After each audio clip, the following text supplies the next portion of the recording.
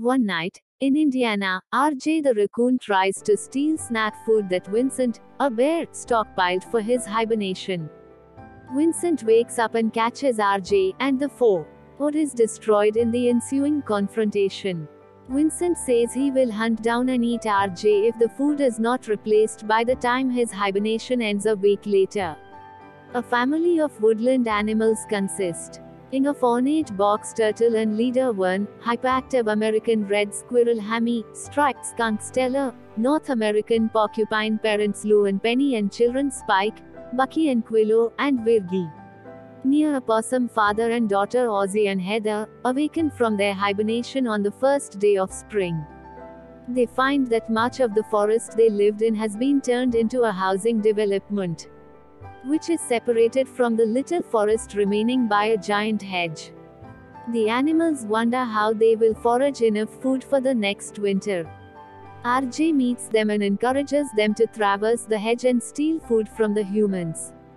Despite Verne's concerns, the animals join RJ in stealing and stockpiling human food, not knowing he intends to give it to Vincent. Gladys Sharp, the Neighborhood Homeowners Association president, takes notice of the animal problem and hires exterminator Dwayne LaFontant to get rid of them. Spurred on by the exterminator's arrival, Verne tries to return the food to the humans. RJ tries to stop him. But they come across the excitable dog Nugent who, with a single-minded fixation on playing, ends up pulling the wagon of food through the neighborhood until it lands on Gladys' SUV, causing an explosion. RJ blames Verne for the loss of the food while Verne criticizes the others for trusting RJ and putting themselves in danger with the humans and the family Aber. Endowns the latter in favor of the former after he inadvertently insults them during a heated argument. That night, RJ begins to feel conflicted about his deception towards the family, especially when H. Sees Gladys have Dwayne cover her yard in animal traps including a contraband device called the Pelter Turbo, which is illegal in 49 states with the exception of Texas, that turns the entire yard into a death trap when activated. Verne apologizes to RJ for his actions and reconciles with the other animals.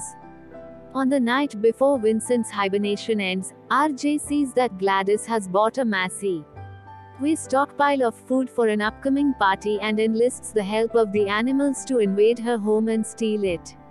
Hammy successfully disables the Depelter Turbo while Stella poses as a cat to seduce GL. Add a Persian cat tiger in order to steal his collar, which enables entry into the house's pet door. The animals stockpile another wagon full of food, but right as they are about to leave at sunrise, RJ sees a can of chips called Spuddies and becomes determined to get them as Vincent specifically requested them.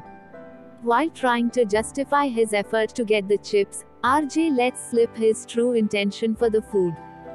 Gladys comes downstairs and finds the animals, and RJ manages to escape with the food. The others are caught by Dwayne, who takes them away in his truck to euthanize them. RJ gives the food to Vincent as promised.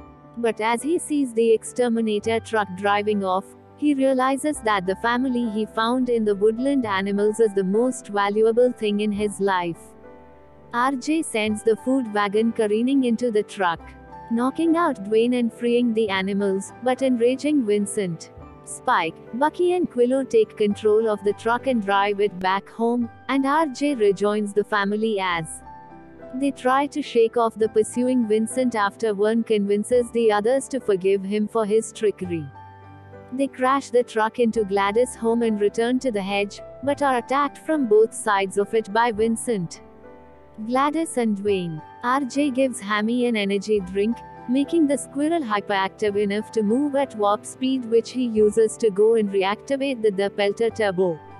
RJ lures Vincent into leaping over the hedge to get him, but puts on Verne's shell which protects him from Vincent's jaws and allows Vern to pull him out with a fishing line.